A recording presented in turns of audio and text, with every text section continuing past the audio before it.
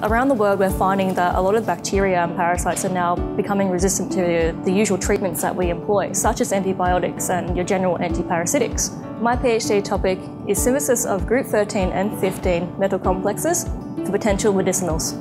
My research is about taking these group 13 and 15 complexes, potentially using them against things such as resistant bacteria and parasites such as the Leishmania parasite in particular. So I chose to do my PhD at Monash because I was already doing my undergraduate research here and I found that the campus was fantastic. My supervisor is Professor Phil Andrews. I first remember seeing Phil in my third year lectures in organic chemistry and thinking to myself, this stuff is really interesting. It's something I can actually stay engaged with. And the way he presented it allowed you to just stay interested. Over the course of my honours and the two years I've been in my PhD, I've learnt so much. I've learnt how to set up certain reactions how to control them, how to work them up. I've also been applying some biology now to my chemistry, so I've now got some dual skills in chemistry and bio, thanks to the couple of years I spent with my supervisors in my PhD.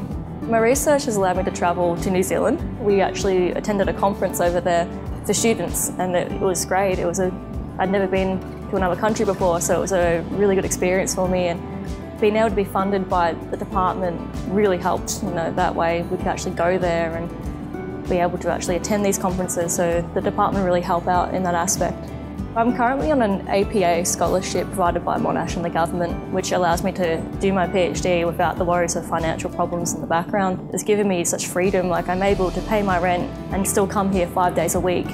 So my advice to anyone who wants to do a PhD or thinking about it is to really make sure you want to do it. You need to commit, you need to have those hours, you need to have that time. It's, it can be very stressful at times, it can be very exhilarating at times. You just need to know that you're committed. Don't go in umming and ahhing. It's something that you need to want to do.